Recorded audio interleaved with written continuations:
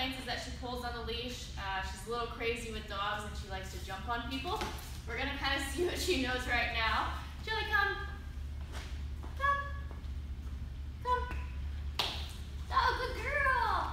Chilli, sit. Oh, good job. Good girl. Chilli, sit. Sit. Oh, good job. Chilli, please. Oh. Good girl. Chilli, please. Chilli. Chilli, down. Down. Oh, good girl. Well, she knows a little bit. We've got to work on some stability. Check back in two weeks and see where we're at.